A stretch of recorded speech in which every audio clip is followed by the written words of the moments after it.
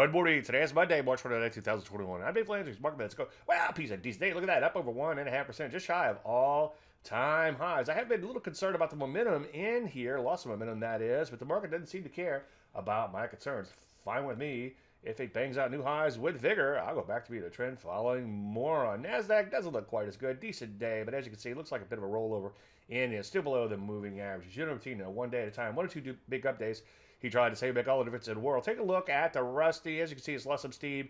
Yeah, here, like the NASDAQ, below the moving averages. Decent day there nonetheless. Few big updates, of course, would make all the difference in the world there, too. That's why we take things one day at a time. Decent day in energy is trying to rally out of pullback. Metals and mining had a decent day too. So far, longer term uptrends remain in place in these areas. As you would expect, a lot of areas banging out new highs in here with a bit of vigor. Some areas, though, still not so good, such as drugs and biotech. So what do we do? Well, I think you continue to look for a short or two, but of course, wait for entries in light of this strength. No entries, no trade. We'll just stay long. Any questions? David, I'm Dave Landry. You start. Mark Minute.